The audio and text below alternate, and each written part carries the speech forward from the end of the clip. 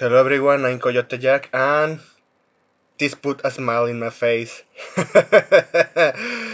Kotaku is blacklisted from Nintendo.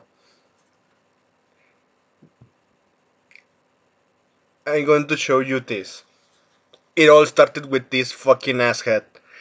It's previous day for Zelda Tears of the Kingdom, and here again I would love for Kotaku and be able to inform its media readers about first hand.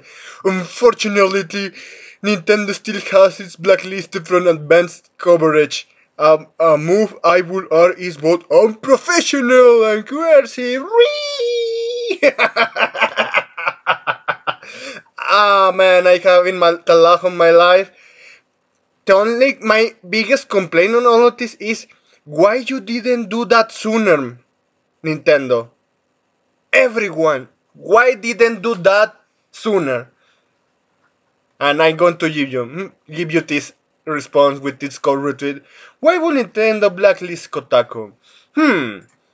And then you have headlines like this. Even knowing how Nintendo is very pissed about emulation, Look what Kotaku shows this. Metroid Dread is already running great on Switch emulators.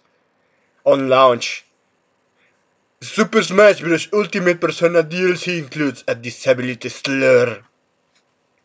From United Kingdom. I never posted a retraction just like this guy saying.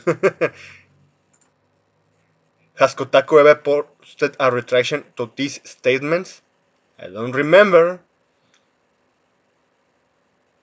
Yeah, they had post one because tricked them into thinking Halo Infinite got delayed a second time. Just a delay. But the whole walk stuff, nah. Let this legacy quote unquote gaming journalists go bankrupt. They deserve it. They don't deserve any kind of sympathy from everyone. That's pretty much everything. I hope you have a great